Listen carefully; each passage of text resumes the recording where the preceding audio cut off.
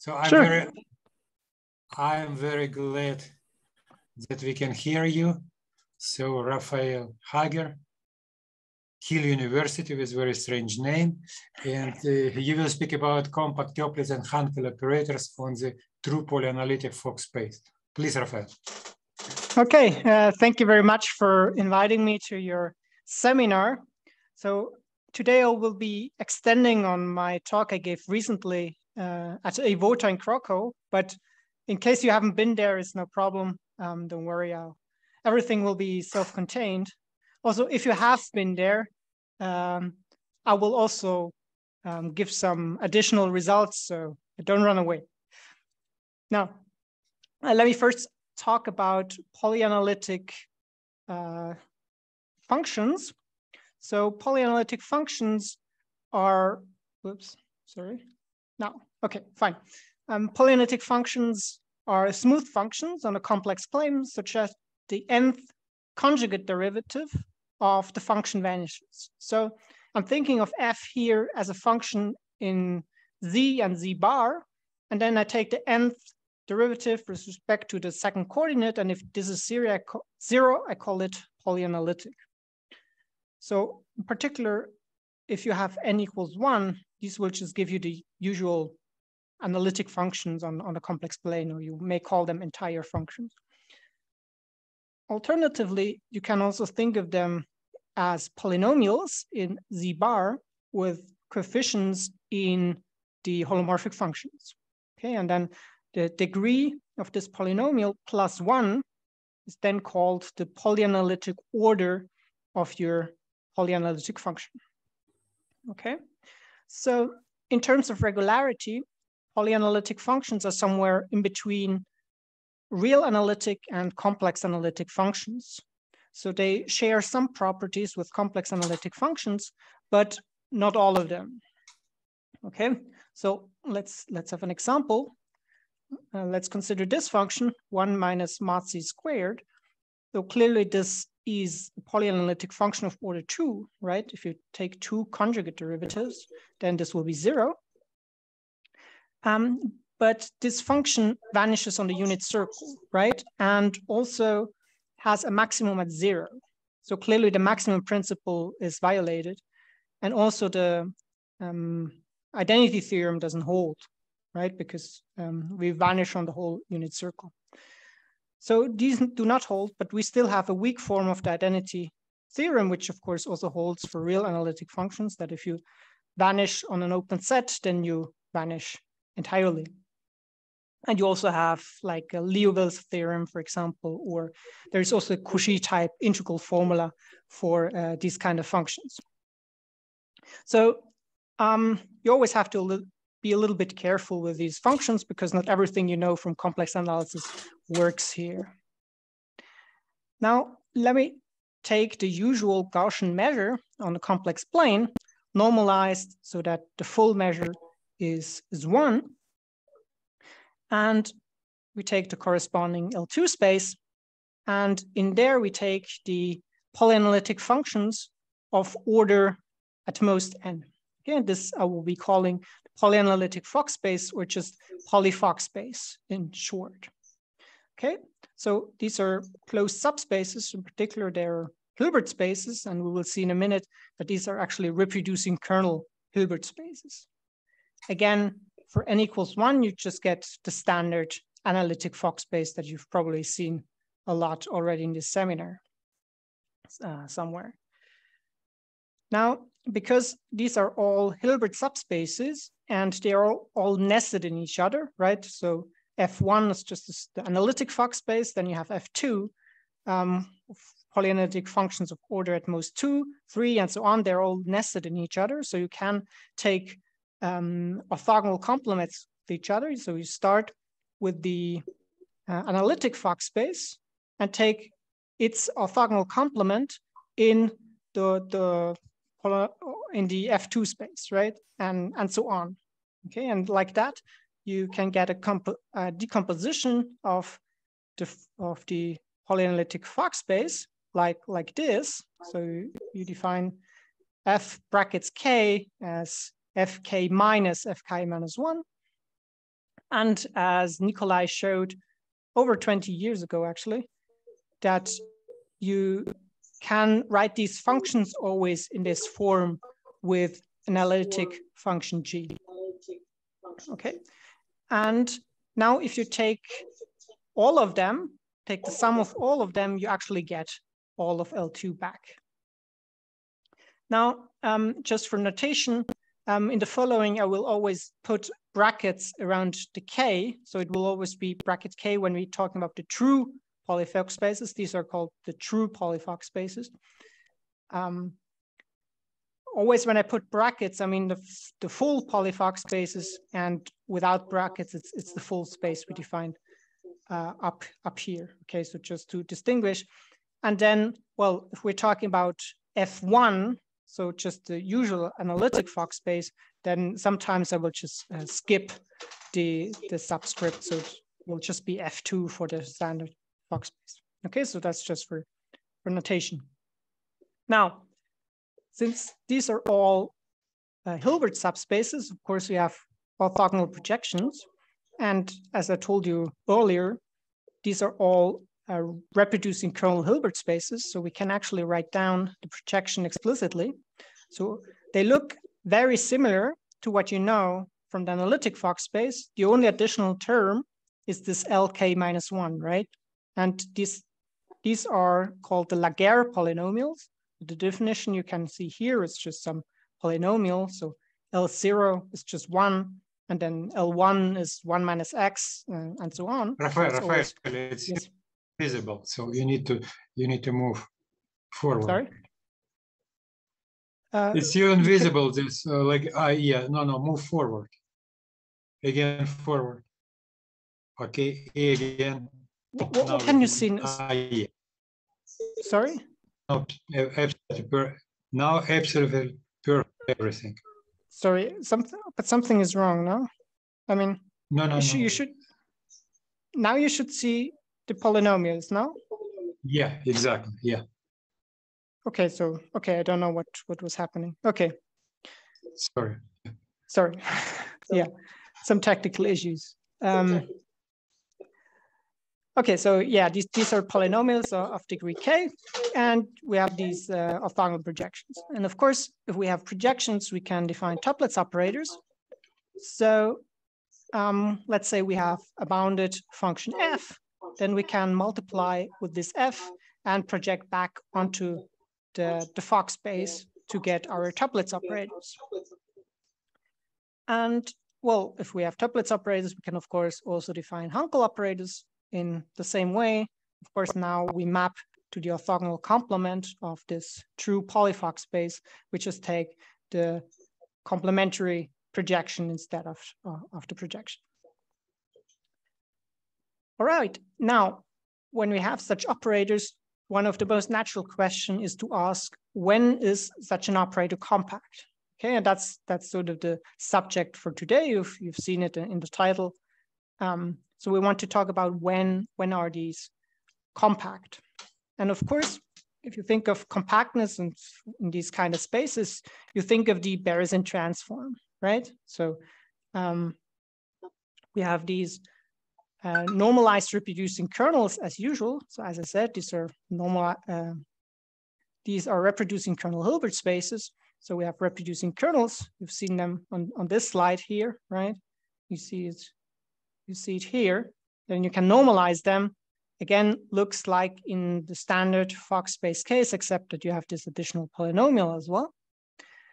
And then when you have these, you can, of course, define the Berezin transform in the usual way. Okay, and you can define this for every bounded linear operator on this true polyfock space.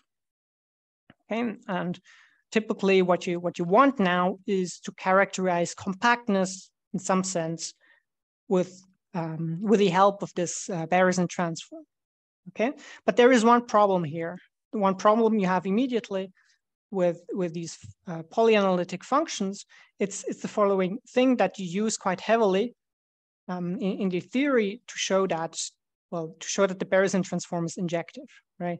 What you use is that if you have a function of two complex variables that is analytic in the first and anti-analytic in the second variable, then if it vanishes on, on the diagonal, it vanishes completely.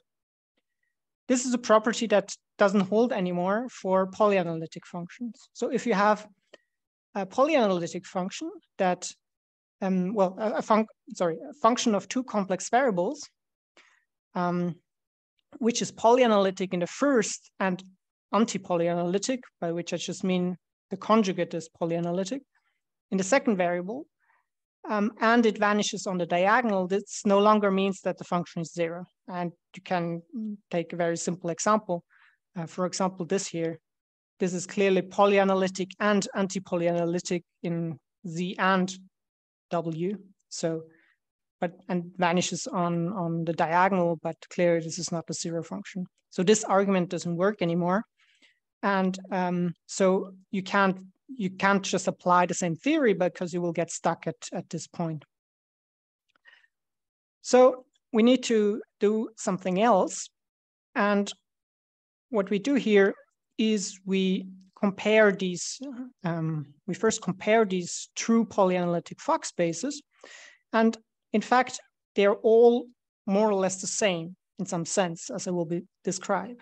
So this is, uh, these are the uh, creation and annihilation operators. Um, they're called like that in, in physics, and that's why I put a dagger here. And um, this is just the adjoint, right? So this is a dagger is just the adjoint of a, but some physics notation. Um, so a is just the, the conjugate derivative, and uh, a dagger is, is the um, the adjoint of that. And these um, actually actually bounded even they're even um, iso isometric if you put some factor in front of it, one over square root of k, then these are isometric isomorphisms between these true polyfock spaces, okay? And they are inverse to each other in, in, in this sense, okay? So that means these true polyfock spaces, they're all more or less the same, right? Because we can always jump via these creation and annihilation operators, excuse me, between, between them. In particular, we can jump back to the standard Fock space, right, which is just F1.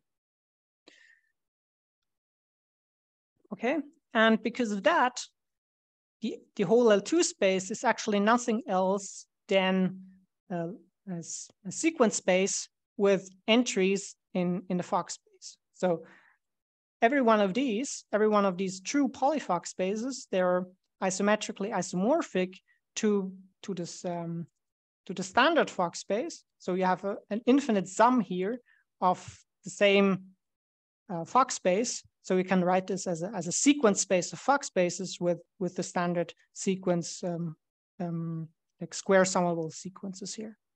Okay, and that will, will be important later on. So keep, keep that in mind.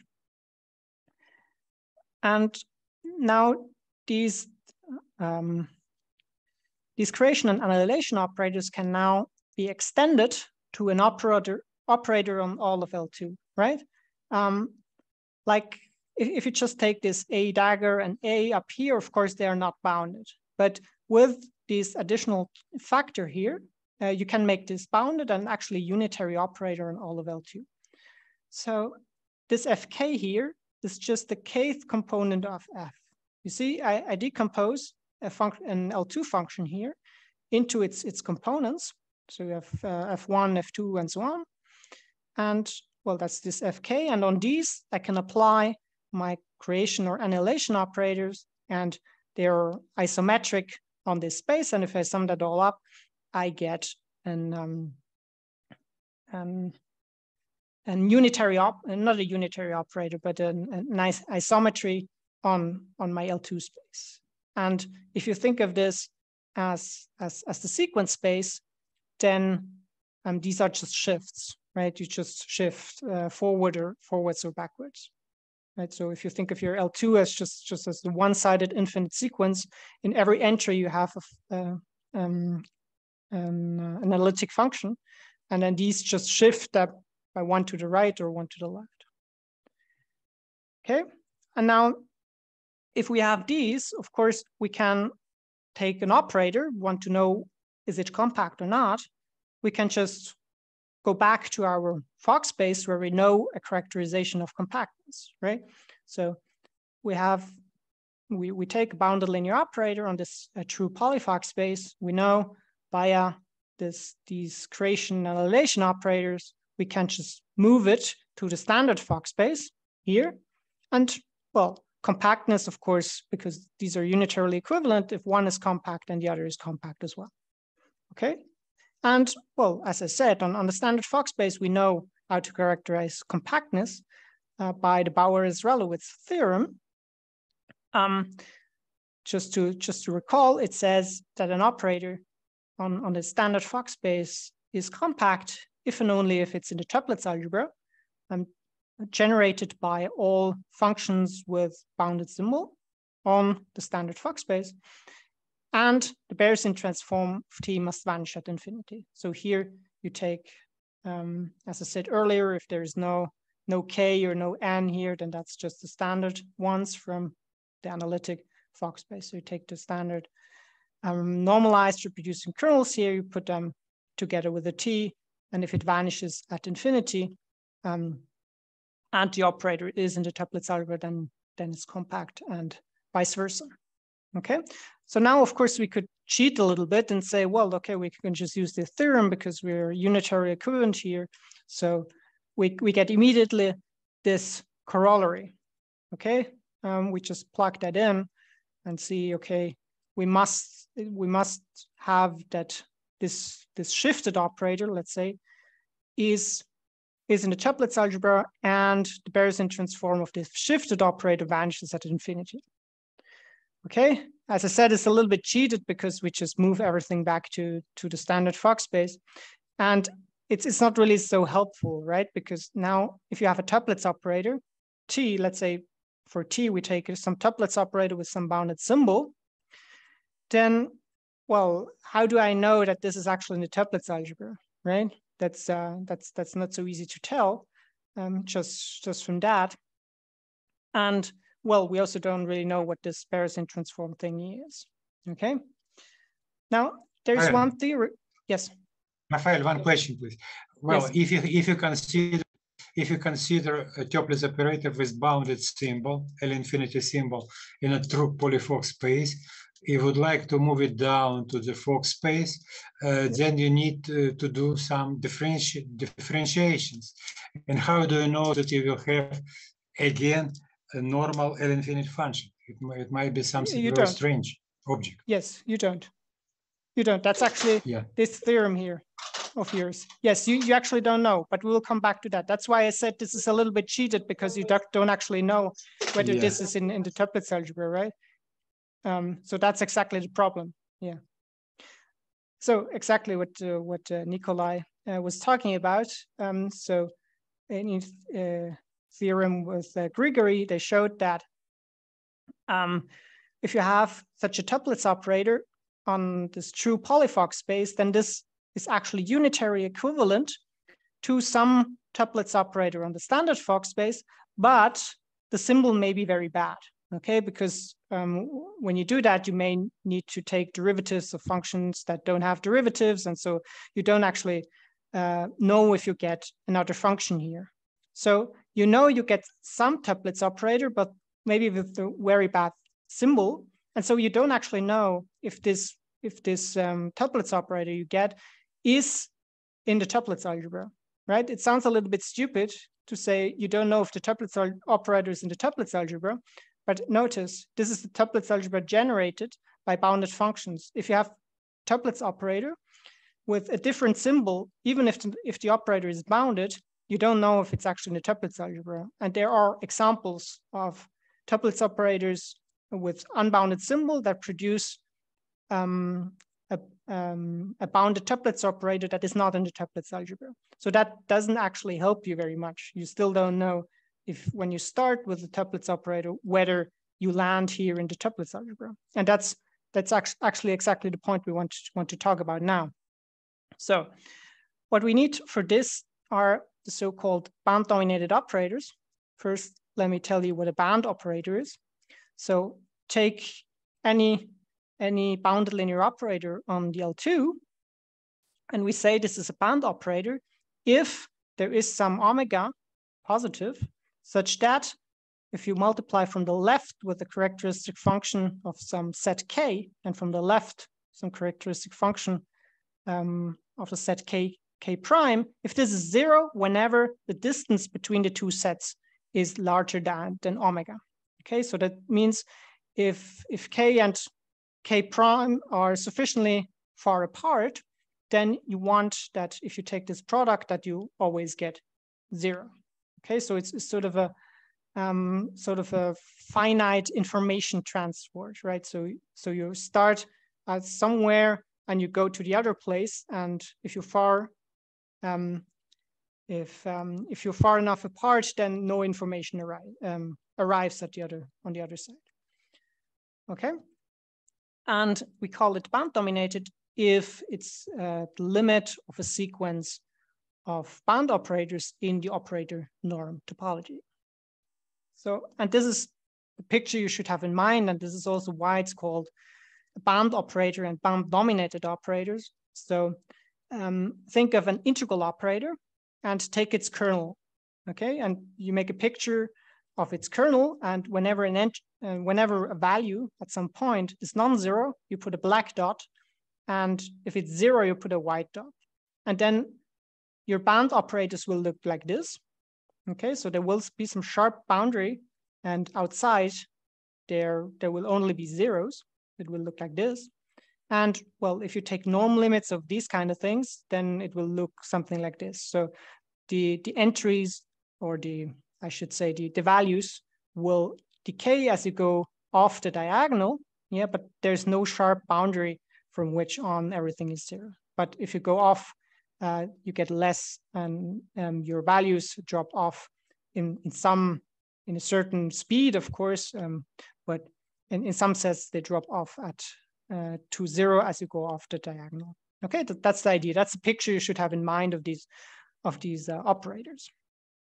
Okay, now notice that we defined them on, on L2, right? You cannot do that on the polyfock spaces directly because then you get no band operators. You cannot, you cannot have something like that. You cannot have sharp, you cannot uh, have these sharp cutoffs for polyanalytic functions. Okay, so and this wouldn't work on the polyfock space directly, but you can of course do this on L2 and then just take the compressions. Okay, so you, you... Rafael, one question, please. Rafael. Yes. Uh, question. Is it equivalent that you have a band-dominated operator if and only if it commutes with multiplication by continuous function operator up to a compact operator? That's a very good question. Uh, I, I'm not sure. Um, especially in this case, I'm not because sure. Because basic, basically that means that means that you have a, some way to localize them. Yes, it it's certainly related, uh, but I'm not hundred percent sure if it's the same. Okay. Okay, so, so now, as I said, we take these uh, compressions. So you take any bound dominated operator, you restrict it to the polyfock space and project it back onto the polyfock space. And these I will be calling BDO with the subscript um, bracket K.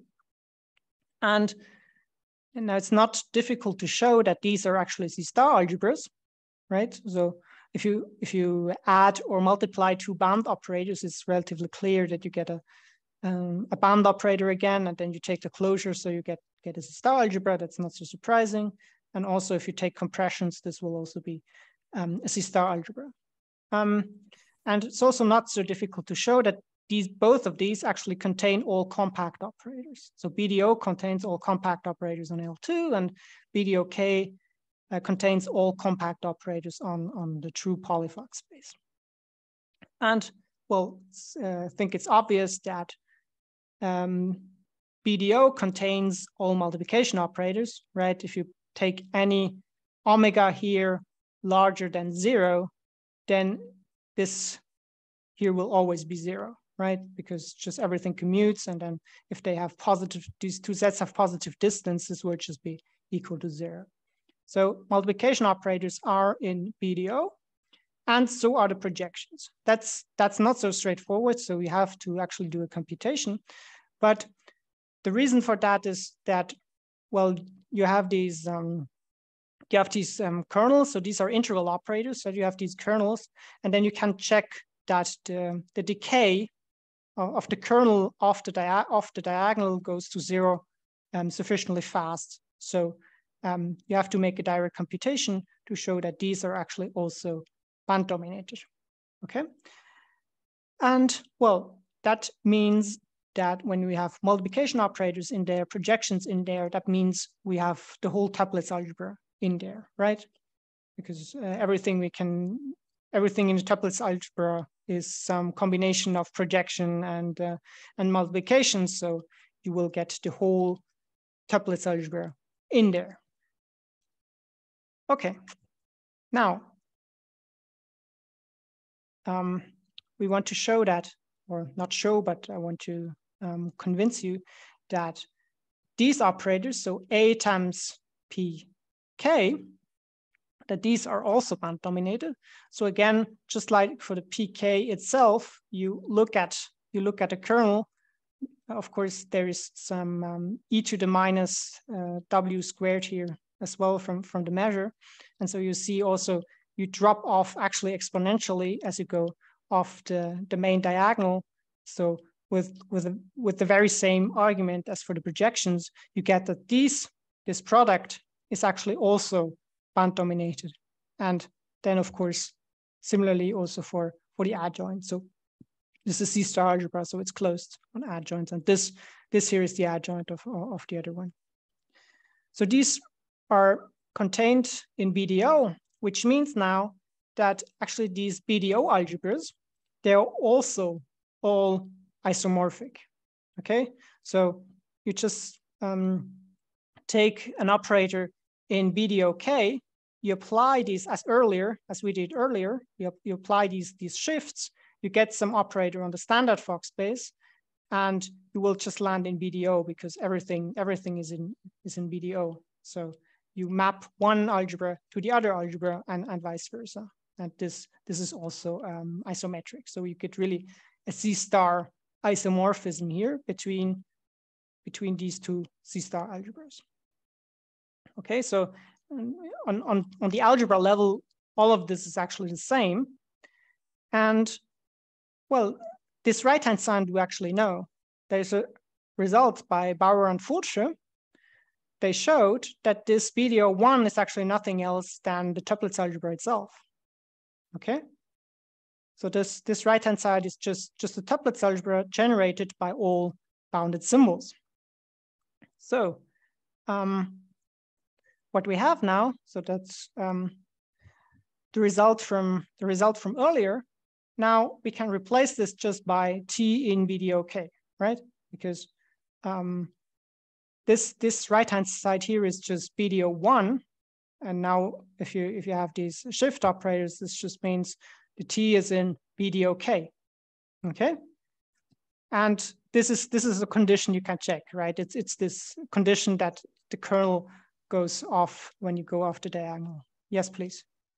Rafael, can you return to previous? Here or what? Or this?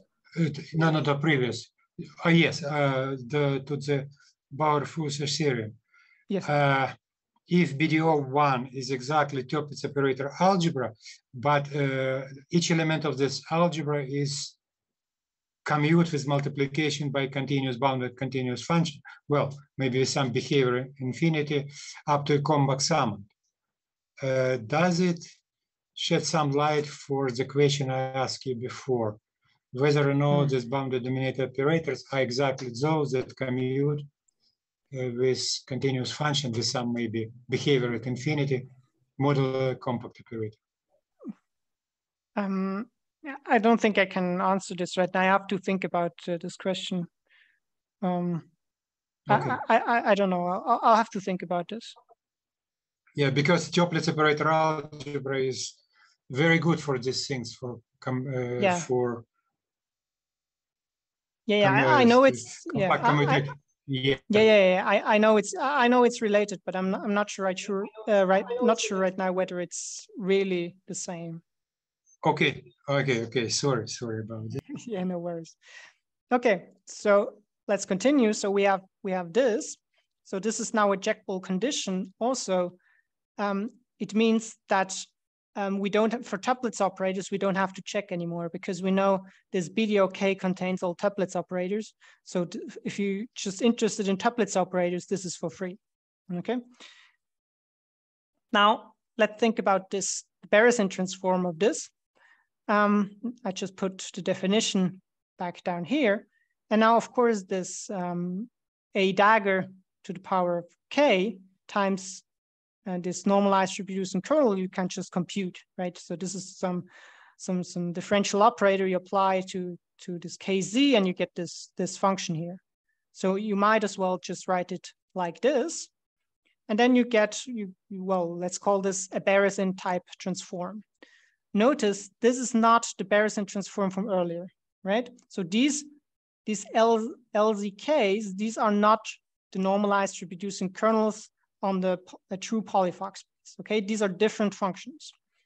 But if you use these functions instead of, of the normalized reproducing kernels, then this works, right? Then that's exactly what, what we've shown here. So um, we can replace this by this um, Berezin type transform, which is not the usual Berezin transform.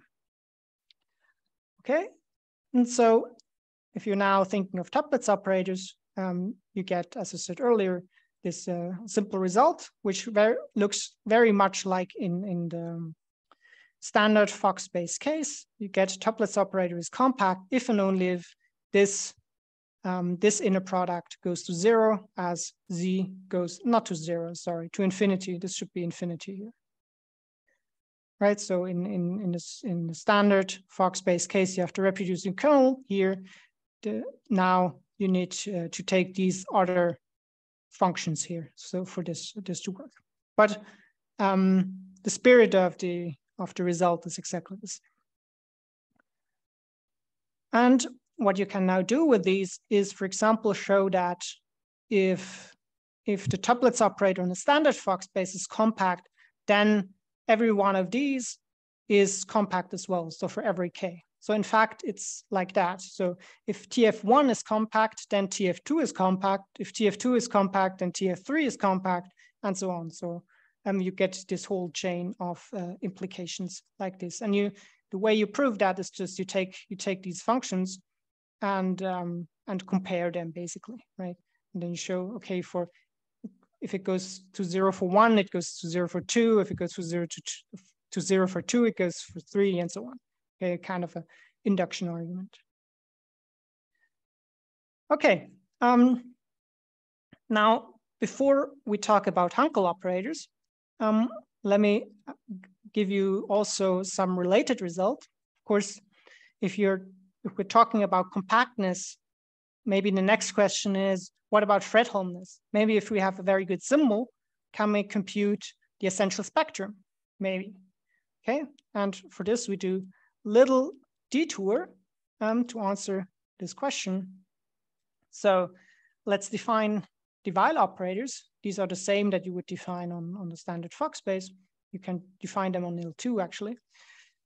And it's easy to see that these are unitary and you can compute the adjoint that's just the W minus C.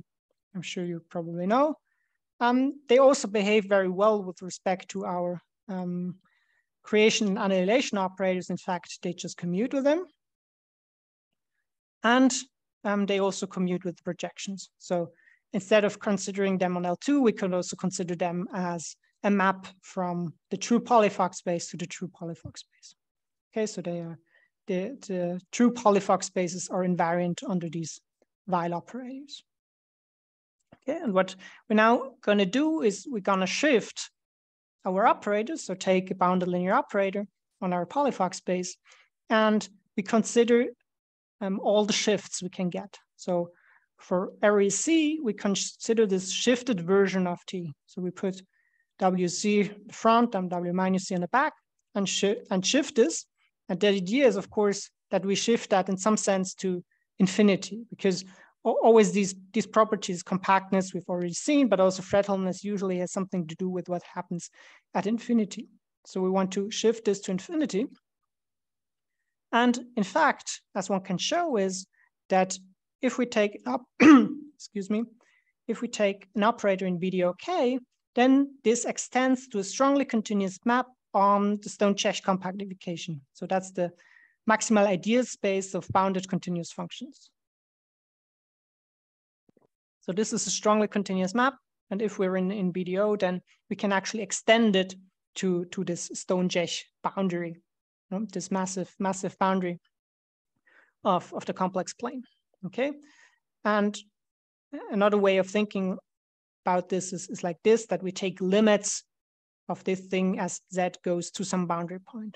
Notice this here is, is, a, is um, a limit in terms of nets, right? So this really means we have an x on the boundary, then we take a net, um, the complex plane converging to that x. We actually need to take nets because um, you actually just Stone-Čech compactification does not allow sequences to reach the boundary. So um, we need to take nets, but the, the value does not depend on the net you take. So that's why we use this sort of abuse of notation z goes to x, but it's it's in the net sense. Raphael, it's called yes. it's called a limit operator series, yes? Yes, this tx is this then called TX. a limit operator. Yes. Yes. Yes. yes. Okay, and now there's a general theory on, on limit operators um, that, that um, applies to many, many cases and also applies to this cases. So there are, there are a number of assumptions you have to check for whatever you're dealing with, whatever space you're dealing with. And um, you can, in this case, you can easily check. In fact, there's only one condition you really need to do something. All others are trivial. Um, you have this black box theorem that tells you when an operator is compact and when an operator is Fredholm in terms of these limit operators. So um, this gives, for example, another characterization of compactness. It says T is compact if and only if it's in this BDO and all limit operators are zero. And if you have a BDO operator, then T is Fredholm if and only if all limit operators are invertible. And of course, in that case, you can just write the essential spectrum as union of spectra of limit operators. So this is a very, very general theorem that applies to many, many cases, not, not just this one. Um, so so we, we, we have this. Now, of course, the problem with this formula is always that, well, it's difficult to, um, to actually compute the right-hand side unless your limit operators are very nice. Of course, if you're compact, well, then your limit operators are very, very nice, then they are all zero. So of course your essential spectrum will just be zero. But of course we know that already. But in general, it's very nice if the limit operators are actually just constants. If they're just constant multiples of the identity, well, we, then we know what the spectrum is and we get more um, explicit results in terms of um, like explicit values instead of just this union of, of z's, okay? And this is um, what you're going to investigate now. So for, for um, bounded continuous functions, we define the oscillation at a point z, just as the maximum value, it can vary within this ball of uh, radius one, okay?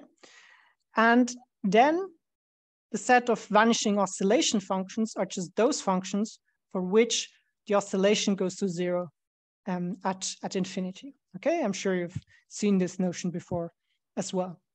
Okay, and then uh, what can be shown is that this, this best case scenario, right, this, that limit operators are just constants, um, happens if and only if your operator is actually a Toeplitz operator with vanishing oscillation symbol plus something compact.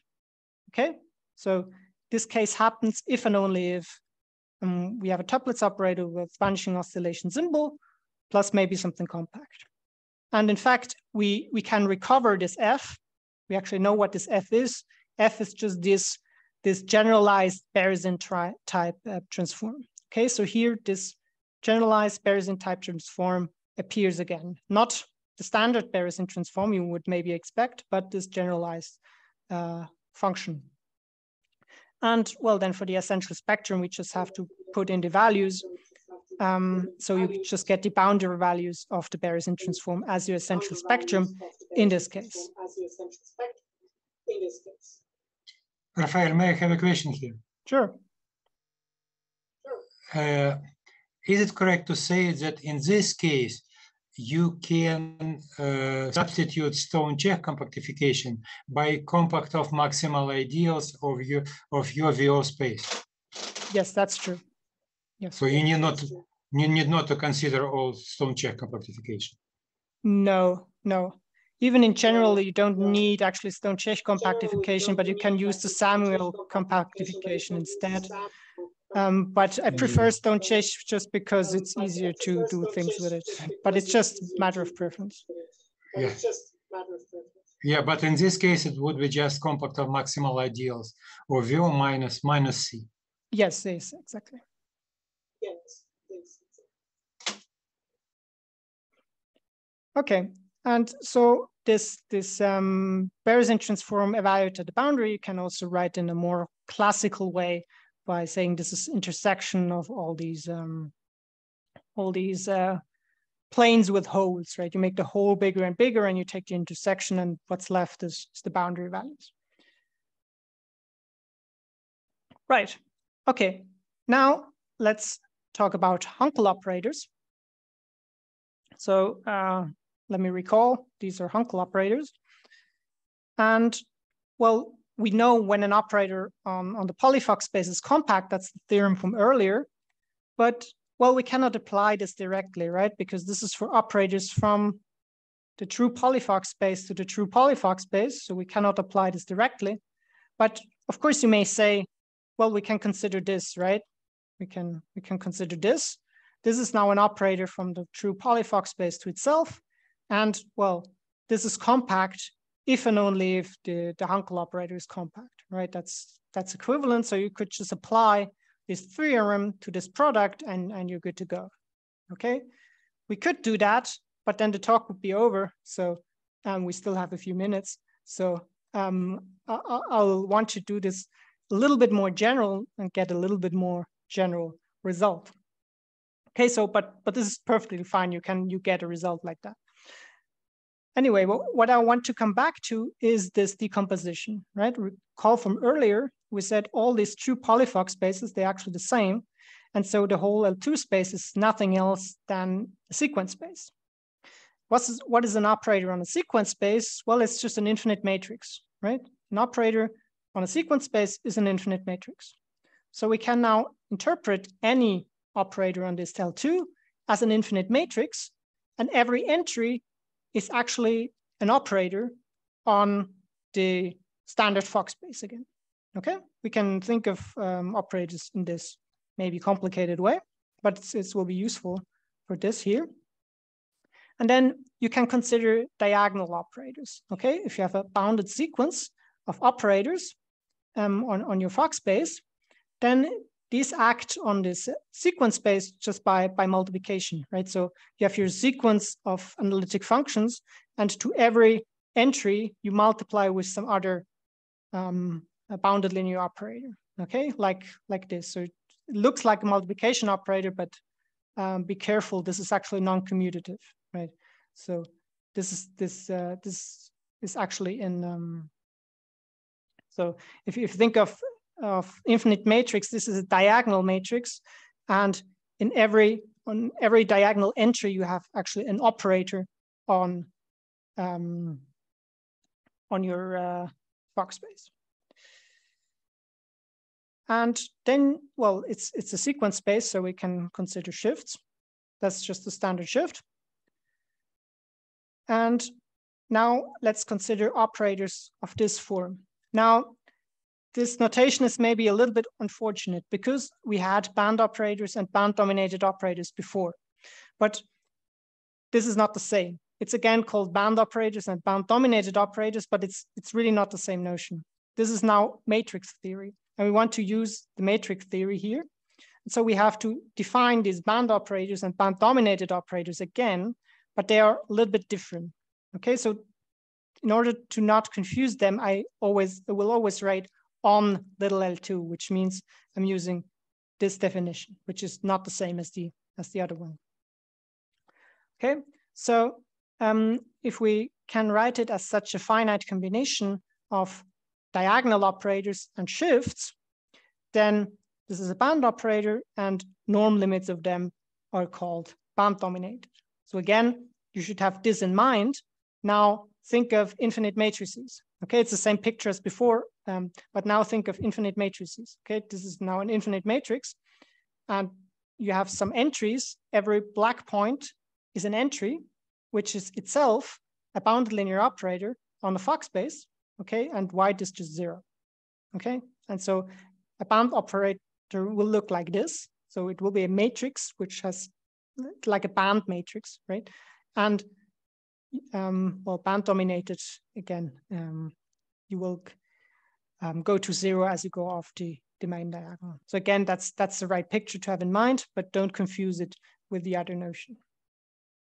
Okay, so let's now look at this uh, isomorphism between these two uh, spaces and see what we get for different operators. So let's let's consider this Pn. Now notice there are no brackets. So this is the, the orthogonal projection on the full poly-Fock space of order at most n. Okay, if you do, um, if you transform this from one space to the other, you just get the orthogonal projection onto onto a um, um, well on on on the space which only has n non-zero um, entries in your sequence, right? So um, if you think of it as a matrix, you will get you this will be diagonal, and you will have uh, the identity for the first for the first n um, entries on the diagonal and then zero everywhere else. And off the diagonal, also zero. Okay, that's how this matrix would look. Then you, we have the shifts. If this, this uh, forward shift V as a matrix, this looks like, well, on the first subdiagonal, you only have, have the identity and zero everywhere else. And if you transform this creation operator from one to the other, you get this shift operator. That's why I earlier called them already shift operators, right? So there you have this, this, this correspondence. Then how does your how does your Toeplitz operator look like in this picture? Well, um, for Toeplitz operator, you will just get an infinite matrix that only has one entry, only one entry at kk, and there it's exactly the Toeplitz operator. Everything else is zero okay? And for your Hankel operator, you get a little bit more. For your Hankel operator, you get a whole column that may be non-zero. And well, at KK, you have zero. That there where your Toeplitz operator lives, there you have zero for the Hankel operator. And everywhere else in the column, you may have some, some operators in there. But all other columns are also zero. Okay, that's, that's another way of um, thinking, thinking about these operators, if you transform them from, from the L2 space to, to the sequence space in this matrix picture. And excuse me, why am I telling you this? Well, because now we can use the matrix theory. Well, because we from the matrix theory, we know when such an operator is compact, right? So when we have a compact operator, so a compact matrix with operator entries, well, then necessarily every entry needs to be compact. That's that's clear, right? So we have a comp this infinite matrix with uh, operator entries. This can only be compact if all entries are compact as well. Okay, so that's where this T in BDO, that's the first BDO we introduced today, and this shift condition comes from. And then the other two conditions, these are the matrix conditions, right? So we need that um, as a matrix, this is band dominated on the sequence space, and this norm limit goes to zero. So what you do here is you take your you take your operator, so your matrix, and you shift it along the diagonal, and this needs to go to zero. Okay, and then you can show exactly using this matrix theory that you need these four conditions. You need for compactness, you need BDO, you need band dominated as a matrix. Again, they're different. Then you need this condition, which is rather condition the entries, and you need this uh, matrix shift condition um, in order to be compact, okay? Now this works for all operators in L2. In particular, we can now apply this to, to Hankel operators. Or um, let's make it a little bit more general first. So actually, if, if you have operators that satisfy this, or the other way around, right? Of course, a Hankel operator satisfies uh, satisfies one of them. Let's see, satisfies the first one. Well, yeah, the first one when n is bigger than k, then your Hankel operator here, this norm will just be zero. So it satisfies the first one. Um, well, but yeah, okay. What I'm trying to say is if you have such an operator, then you can forget about the, the matrix stuff, right? These are then satisfied automatically. And then you just, you get, you're left with your conditions on the entries. So, and you will get T is compact if and only if T is band dominated and this um, shift, uh, this shifted operator goes to zero, this um, as um, z goes to infinity, or in other words, all limit operators are zero. Okay, and now we can apply this to Hankel operators. As I said, Hankel operators satisfy this. Um, so we get this. Um, Hankel operators are in, in BDO um, because, well, projections are, multiplication are. So this is, again, automatically satisfied. So um, you just get this limit operator type condition. And then from this, um, you can also get uh, a VMO type condition, this standard uh, standard condition. Um, I didn't really talk much much about this, about this uh, function space theory, but this is also something you get. And um, yeah, by VMO, I just mean uh, functions for which this difference goes to zero as, as we go to infinity, okay? And, but most importantly here, um, what you see here is that this actually does not depend on K, right? So the first two conditions seemingly depend on K. You have a K here, but the third does not. So this means if you have some, bound, some bounded symbol, then Hankel operator on a two polyfock space is compact on all of them or on none, right? If it's compact on one, it's already compact on all others, okay? Because the third condition is independent of K. And what it also tells you is the, that you have this kind of result that um, the Hankel operator is compact if and only if the, the Hankel operator with the complex conjugate symbol is compact. That's just because the third condition is invariant under taking conjugates. So you get this result for free as well. Uh, yeah, that's that's it for today. Thank you very much. Thank you, Rafael. Very interesting, very nice talk. Please, Thank questions, you. comments, suggestions, whatever you like.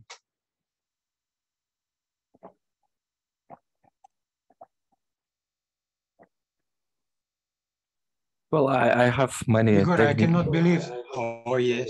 I have many technical questions. Yes, but, sure. Igor, please. Um, uh, in in the last page, uh, mu is the Gaussian measure, yeah. Uh, which page now? Uh, in this page, for example. Uh, yeah, it's always the Gaussian measure. Yes. Ah. It's always the Gaussian measure. Yes. Uh, very well. Uh, could you please show the definition of the modified uh, Berezin transform?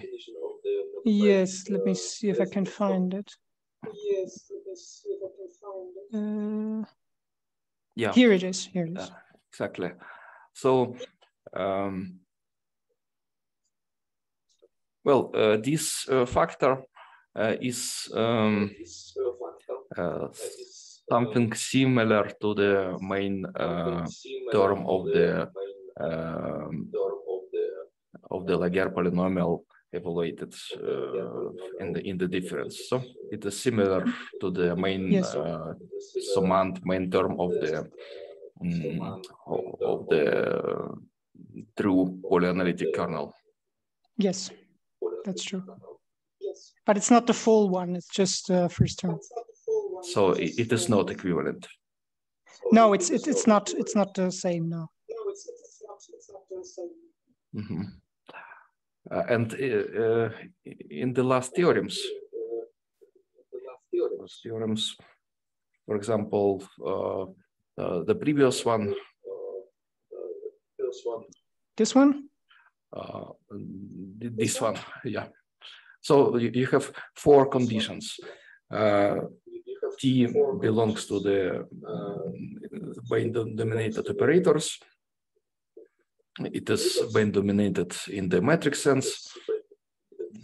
The shifted operators uh, go to zero at infinity, and this um, complicated condition with yes in in the in matrix form. Yeah. So, uh, do you have examples when the first and the third uh, conditions are not uh, enough? Um, Just BDO and uh, 10 to 0 at infinity.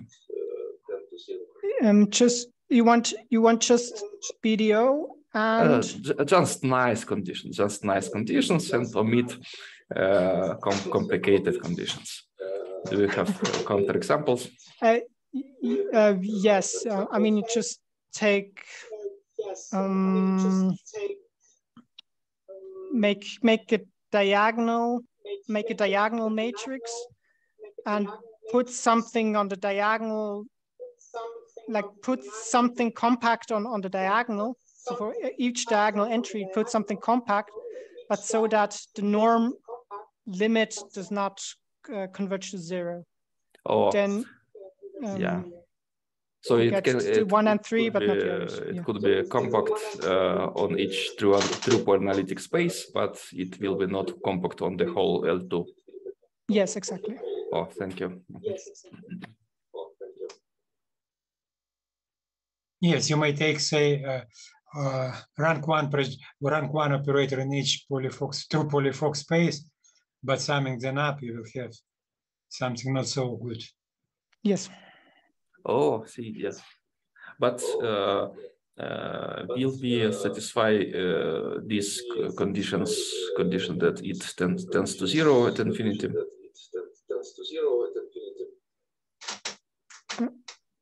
Sorry, what do you want?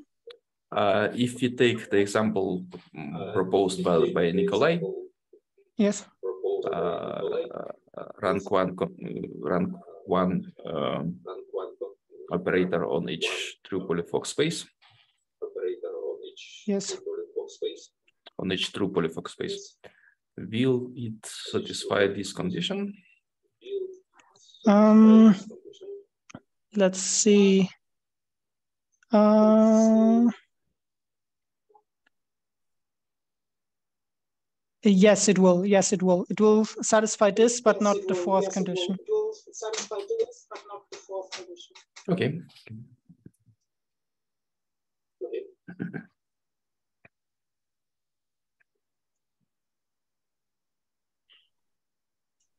Uh, more questions or remarks, suggestions? More ideas to Raphael? So I have a question. Um, this mm -hmm. is mm-hmm. Wolfram. Hi. Ah, hi, Raphael. Um, so it seems that. Oh, hi, Wolfram. Are you here? Yes, yes, yes. Hello to everyone. Uh, it seems that several of the properties you've proved are independent of K, like the compactness. Um, so is mm -hmm. the same true maybe for the spectrum of a or essential spectrum of a Toeplitz operator? Um, and how about the boundedness of a Toeplitz operator if you have an unbounded symbol? Mm. Can you say anything about that? Uh, I, I, didn't think about unbounded symbol as a, at all, so I can't say anything about um, the, uh, the, about the boundedness. Now the spectrum. Uh, let me think. Do you have a counterexample? Uh, I think, um, well, not exactly what you want, but I think we can have a counterexample for a Toeplitz operator. Let's see. Um, where is the other theorem? Here, so here we have this corollary that TF1 is compact, then every other um, TFK is also compact. The other direction is not true. So um, you can have that the essential spectra are different. Now about the spectrum, I'm not so sure, but I assume it, also will not be uh, the same always. Mm. Even for VO symbols? Where you have some explicit, um, more explicit uh, form of the essential spectrum with the Berezin transforms? Yeah. Um, here. Um, yes, I think, yeah, I think this will even be a VO symbol. Yes, I think so. I, I'm not 100% sure, but I would think we could construct something like that. Yeah. I see. That is interesting. So not everything is invariant. no. Okay, thanks. More questions?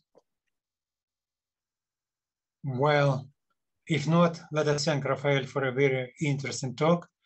And I have a personal question to Wolfram. Wolfram, are you ready to give a talk at our seminar? Um, it depends when. well, I, I would say uh, it first of all it each Wednesday, and maybe we can plan it to, for the beginning of December.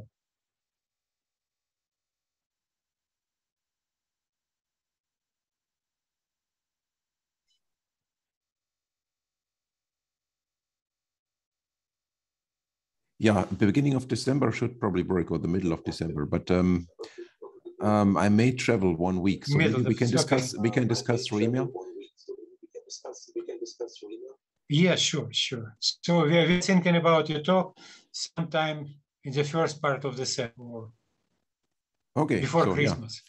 Yeah. yeah so thanks for for invitation. Yeah. will be my pleasure. Yeah. Okay. Again thanks for accepting it. Okay so thank you very much for all. We have today 20 participants. It's very good so nice. best wishes to all of you. Take care. And uh, our next seminar will be next Wednesday, and Maribel uh, Ar Armando will talk. Yes, he is the uh, he is speaking next week. Yes, Armando Sanchez Nungaray. he is speaking next week. Armando Sanchez Nungaray. Okay.